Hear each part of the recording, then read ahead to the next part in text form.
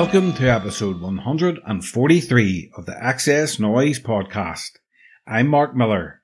Thanks for listening.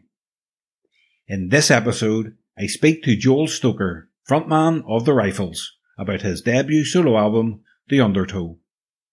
If you missed the previous episode, I spoke to John Lydon from Public Image Limited about their new album, End of World. So check it out. And if you like the podcast, please subscribe on your favourite listening platform give us a rating, and leave a comment.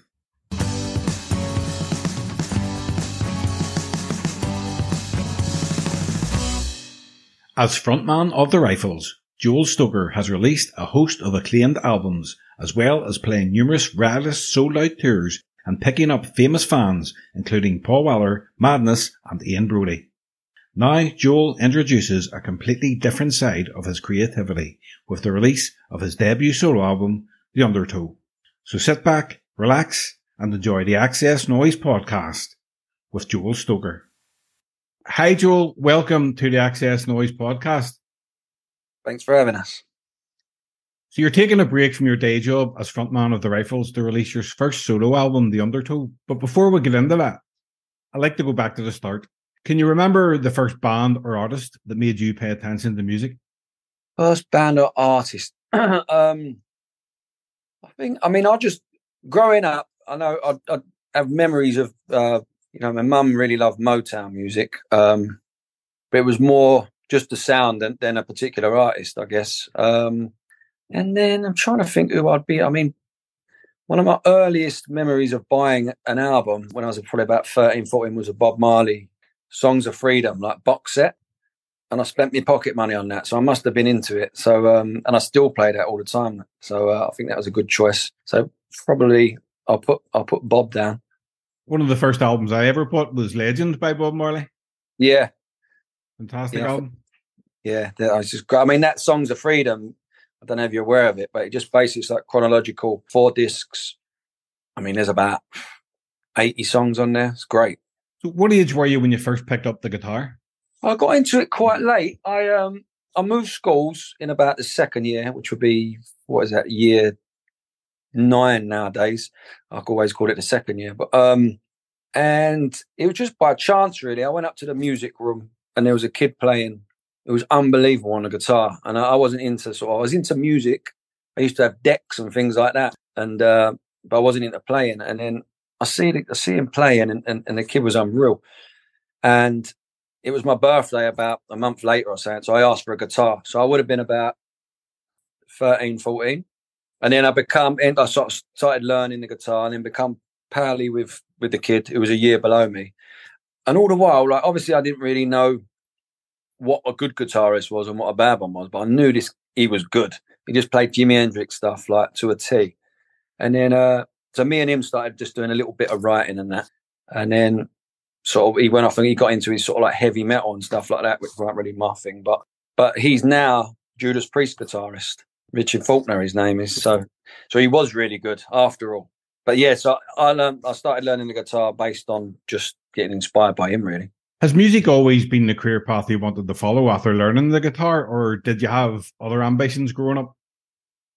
I kind of growing up. Obviously, when I was younger, younger, I was I was football, football mad. And then um, I guess I never really give it too much thought. The only time I made a decision that I want to go into something is when I went to music college, but I wanted to do sound engineering. I didn't want to play in a band or anything like that. And um, but part of the criteria was you had to play an instrument to get on this course. So luckily, I played the guitar, but um, I, I, really wanted to do sound engineering. But that's where I met Luke from from the band, and then again, part of the criteria of the course, they put you into bands and things like that. And um, it was obviously very eclectic, all the different students and what they're into and all that. But me and Luke seemed to gravitate towards each other because we was both into the same music and we looked more normal than everyone else. and uh, so we started our own little band on the outside of the college thing, and that's how it sort of started the band thing. I think we was in messing about at lunchtime and I just started singing a Bob Marley song, funny enough. And I'd never really sung like in public before. And so Luke's like, you you should sing. So that was that. Can you remember the first song that you wrote together that you thought, right, this is a really good song? I think the first song where we thought it's got something was probably Peace and Quiet. Um, but the demo thing that I've done at home was like probably about half the pace of what we ended up recording it at. But I think that's the first sort of time I think actually this this might be all right. This one. I know all songwriters have diff- completely different songwriting processes. What's yours now? How is how much has it developed from the beginning up until now? Um, it differs all the time, really. I mean, sometimes we will, as a band, go in and just make music up. Do you know what I mean? Just jam, and then I'll take that home and write write to that. Or sometimes it will just start at home on an acoustic guitar, um, and then kind of the opposite. We put put the band to that. Um, for the solo stuff, obviously, it was all just set. I was just sat on an acoustic. Really, you know, always try and maintain that song should sound good on an acoustic, stripped down um, regardless what you throw on it. If you can strip it back and it sounds like a good song with nothing else but a guitar and a vocal, then you're probably on a good thing. Yeah, hundred percent. Well, as we speak, in two days' time, you're going to release your first solo album, The Undertow. It's an absolute banner. Now, you've released a host of acclaimed albums with the Rifles. So why was this the time to release a solo album? And is it something that you've always planned to do? No, not at all, really. It's just um, I had, I guess it was sort of during lockdown where we all had a bit of free time and we weren't sort of collaborating and things like that. But I had, I don't know, five songs, something like that, all all about the same sort of thing. Um, a lot more personal, weren't really right for the band, a bit slower. And I wrote another couple more and thought like I'll do another few and I've got an album, do you know what I mean? So that's kind it was never really I guess they started out, they always start out probably with the rifles in mind songs. And they just went off on a path that weren't really right for the band. And like I said, it's too, a lot more personal for me. So, like I said, I got to about seven songs and thought a few more, and I've got an album there. So, why not? That was, that was really it. I wasn't, I never, it was never my plan from from the outset to do it. It just sort of hit me when I got to about seven songs and they're all of the same. That They was all about the same subject. They're all kind of fit together, and it, yeah, it just seemed to sort of happen like that.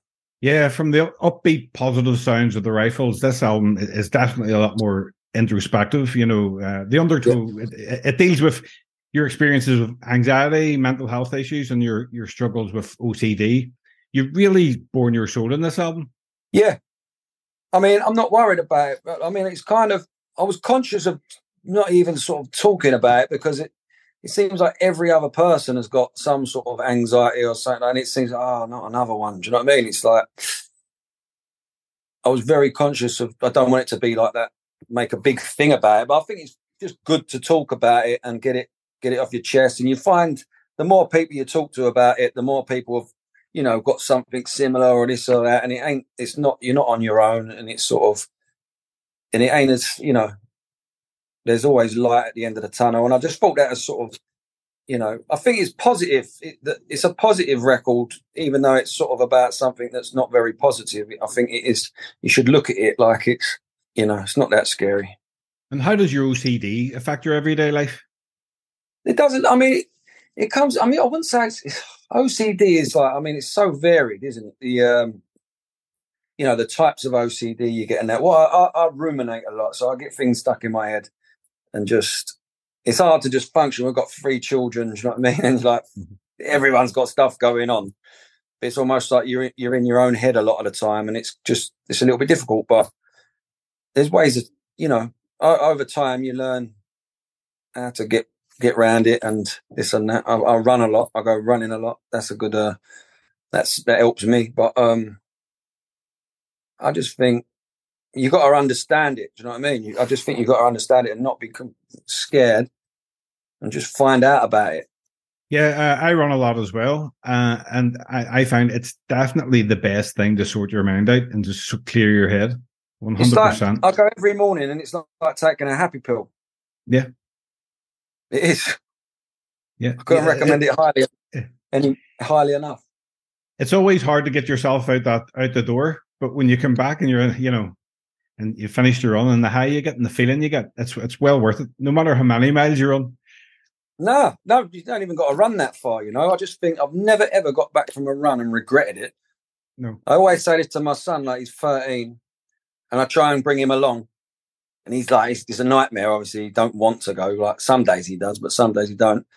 But at the end of it, I always say when we finish, I go, "Do you regret doing that? Do you feel better?" He goes, "Yes, I don't regret doing it, and yes, I feel better." I go, "There you go." Yeah, yeah, it's the best thing ever. I just switched off and just sort everything. You sort out everything out in your head and what you need to do, and you get some tunes on, and you just. Not only that, because I've got three children, and that it's a war zone. Um, you know, as soon as I get through the door, so it is actually peaceful. Yeah. It's a win-win. Absolutely. Back to the album. There's so many brilliant songs on the album, so so let's talk about some of them. Uh, the lead single, "My Own War," it's it's a great track. Uh, you sing, "I place your peer, but only for the show. I feel inferior with nowhere to go, but it's cutting me down to the bone." Mhm. What more can you tell me about the song?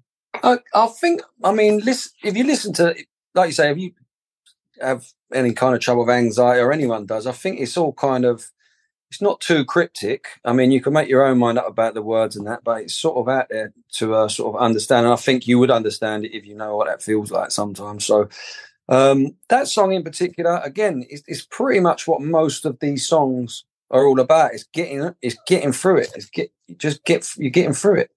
Yeah, and it, really does help, you know, when, when you do delve into the lyrics. You know, my favorite song on the album is "Like I Love You." Mhm. You know, it's a great track. What more, you know, and it's very positive. What more can you tell Yeah. me about that? I had that quite a long time ago. I had the uh, what I have? No, I had the verses. I think can't remember, but but I definitely remember there was um like a Michael Kiwanuka song that was on um a show we was watching. That Big Little Lies, it was called. I don't know if you caught that, but it was, it was the title track. And um as soon as I heard it, I thought this is a good song, man. Now I've, I'd heard of Michael Kiwanuka, but I wasn't like over familiar with all his stuff.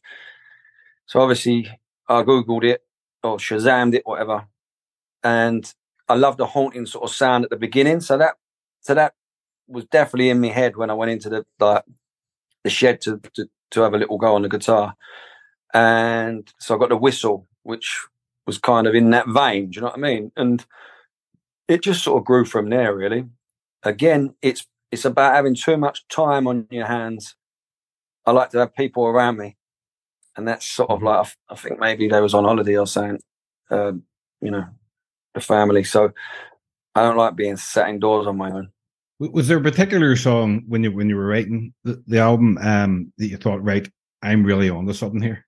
No, I just kind of. I mean, I always try and write songs. You, you should be happy with everything you sort of write, and uh, it's only when it sort of dawned on me that it's an album of some, you know, a collection of songs that are all saying the same thing.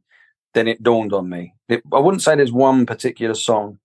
I'm kind of happy with all of them. Well, I'm very happy with all of them. So, um, and it's it's quite interesting just showing friends and people like that because there's not really a particular one. You know, usually you get one or two songs on an album, and everyone goes, "That's that one. It's that one."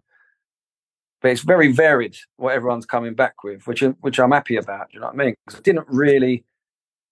I was never thinking about singles, that's for sure, or anything like that. Obviously, you have to release singles, so it, it, it wasn't single driven at all. Um, I would say the song that sort of encapsulates the whole sort of what it's about. The best is the Valley, which probably took the less least time to write. I don't know. There's a lot of lyrics in it, but it just it just come out pretty easy. That one. I have listened to the album quite a lot, but it was only today that until I find my mind sort of finally re- revealed itself to me. And I went, Yeah. you know, which is I was really happy with that when I first done it. It's sort of like it's a bit of an odd one, but it's uh yeah. What did you like about it? it was just a great track. I had it on the background, the album, and I just went, what do they call that song? And I just went and checked in the playlist, and I just thought, you know, it's a great track.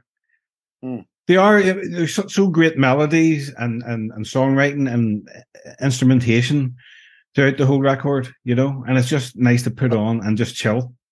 Yeah, thank you. Were you listening to anything uh, while you were writing the album that, that might have inspired some of the the sounds on the album? The sounds or the yeah, I mean, like I said, well, for one, that Michael Kiwanuka Yeah. song, that's a definite pinpoint. Um, I was listening to a lot of sort of Fleetwood Mac, sort of rumors, that sort of era. Um, I like the seventies I like the, the flat drums. I don't like the drums to sound like they've been put in a studio. I like them to sound sort of close. Um, and the drum sound on like Rumours is great. And also the guitar, like guitar solos to be flat. I it just wanted, I didn't want it to sound like it's, you know, had the studio sheen on it. Do you know what I mean? So I would say that them sort of records um, ins- inspired the sound of it. Do you know what I mean? Yeah. Yeah.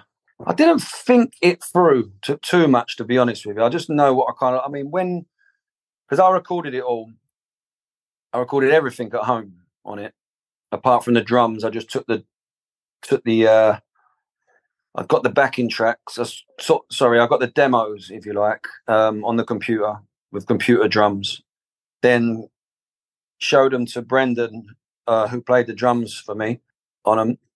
Uh, he got them, got them in his head. Then we just went to the. I bought some mics and bought, went to the rehearsal room and just recorded all the drums for the whole uh, for the whole album. And then I just took it home and just started to pick them off and just and they just sort of grew. And then I was just getting everything real, just solid. Do you know what I mean? Like with your acoustic guitars and everything's solid, nothing too clever, but just getting it a nice solid track.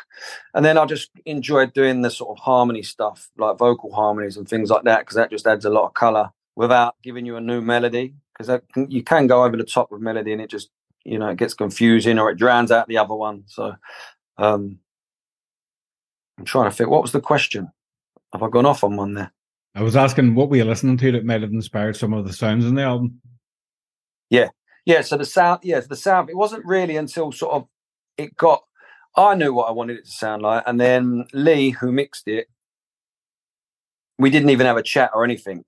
He just, uh, I sent one song to him, and it come back, and it sounded good, but it just sounded like I'd been in a studio. Do you know what I mean? It sounded sort of everything sounded all, you know, reverb and perfect it just weren't right. So he's up in Leeds. So I just said, all right, I'll pop up.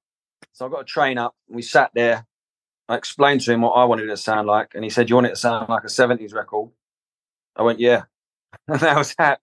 And uh, so once we've established what the sort of sound it was we was going for, it was it was really simple for him. In August, you supported Liam Gallagher at his intimate show with KOKO in London. Uh, you played classic songs by the Rifles and tracks from The Undertow. So what was that like? I got asked. Um, I immediately went back and said, "Is it my solo thing?" Because I knew he'd heard the solo album, and he really liked it, and that's why he asked me to do it. But I just wanted to double check: is it me or is it the rifles that you?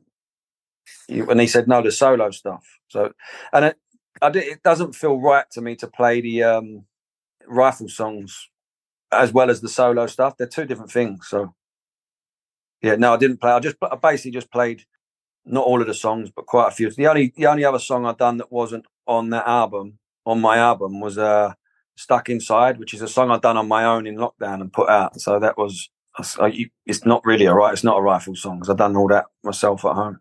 How did the, how did the new songs from the album go down in front of a live audience? It was really good. It was quite daunting. It was probably the first time I've been nervous in a long time. But then when you think about it, I'm playing in front of a very partisan crowd. Just to, they're just totally for Liam. Um, for the first time, my own stuff on my own. Plus, no one's heard the songs. That was a tough one. But I mean, it couldn't have gone any better. It seemed like we had the the room was full up. It seemed like we had like the attention. Do you know what I mean? So sometimes, you know, if support bands are on, you're at the bar, you're chatting and this and that. But it felt it felt like everyone was listening, so it couldn't have gone any better from that from that point of view. Mm-hmm. And in September, you'll be playing some of your own shows. You you must be looking forward to those. Yeah, I got the first one this Saturday in uh, Walthamstow, which is round the corner from me, at the Walthamstow Trades Hall, which is like a sort of working man's club. Um, that'll be the that was the first one intended I intended to do because the album will be out. So uh, yeah, the album's out Friday and I'm playing on Saturday. So they'll only have a day to hear the songs, but I'm sure it'll be fine. And then from then on, I just plan to play like a Thursday night every every week, indefinitely, sort of thing, as opposed to touring, which I don't really like going on tour so much. Um, but just to do a gig a week in just various plate light spots around the country, that works for me better. And it, it kind of you're not just a nice thing to do. It's like a little one off, but every week. And how does it feel being on stage as a solo artist without the rest of the your rifles bandmates behind you? Well, I've only done it one. Well, I've done it a couple of times because we've done a little warm up gig in a in a pub. But um, I've done stuff before on my own um, as a rifles thing, like an acoustic stuff. But I don't know really. The Liam gig's not a good gauge um, on what it's like. So Saturday will be the first time I'm actually playing. I'm just looking forward for the album coming out and just seeing what people think of it. And the gigs should be a lot easier once people know the songs. I, I think, um, but it's definitely not going to be a jump around type of uh, e- event or night like like the rifles would be. So that'll be a bit different, but that's cool. I don't mind that. The last studio album from the Rifles was a double album, Big Life, in 2016, and they hear the band has a new studio album coming soon. Yeah. Um, when will that be, and what can we, we expect from the record? We're just um, we're just sort of we've, we've got all the drums and basses bass down for all the tracks. We wrote a lot of songs over about a year and a half ago, but just wasn't listening back. It was so fragmented in the way we'd done it. It didn't sound it didn't sound like an album. Um, some of the songs wasn't very. I didn't think they were good enough. Um, so we went back to the drawing board and just tried to sort of write write songs that were you know that are good live songs to play. Um, so kind of going backwards a little bit, but I don't mind. Again, I don't mind that. Our our fan base, uh, Rifles fan base, is unbelievable, and we have great nights gigging. Um, so if we can just continue to get the, these songs that work and come across really well live, and people have a good night, I think that's uh, that's what we're trying to go for. Will it be out this year or possibly next year? Probably not this year now, will it? I mean, we're going to do as much as we can, but it just takes so long to sort of once the album's done. I mean, just vinyl alone, there's a big waiting time uh, to get vinyl done and all that. But it's it's hard, you know what I mean? We work, we do all other bits and bobs as well. Just getting together sometimes is uh, hard work. So we're getting there. If you were to recommend one of the Rifles albums to someone who had never heard the band before, what album would you tell them to start with? I always like None the Wiser. I'm pretty sure I can't stand my voice on the first album. I just can't listen to it. Um, I like None the Wiser. Good choice. Why, why do you not like your voice in the first album? I don't know. I don't know. Just don't like it. I suppose Liam says that about definitely maybe as well. Yeah, which I find hard to believe, but there you go. No problem. Um, I like to ask my guests the following questions. If you could go back and relive one musical moment from your career, what would it be? What do do it again? What we've already done. Um, if there's something that didn't go right, you would like to go back and change, or a, a moment that was just so amazing, you would just like to relive it. It would have it would have to be when Paul Weller come on and played uh, Eton Rifles with us. Wow. It was just a mad moment, like for us, an unbelievable moment. And I know he didn't play jam songs for a long time. And when he, when he sort of said he'd come and do a gig, come and play at, at, at the gig, we thought we, we'll ask him if we can do Eton Rifles. We was we wouldn't have been surprised if he said, "I'm not really up for doing that," but he did, and it was just great. It was just a, a real moment. Amazing. Where was that? That was at a Forum in Kentish Town. Nice one. No, love yeah, love Paul Weller myself. Yeah, that one. I mean, that, that's that takes some beating. That one. For us music fans, music is the soundtrack to our memories. What song or album, when you listen to it, brings back the best memories for you?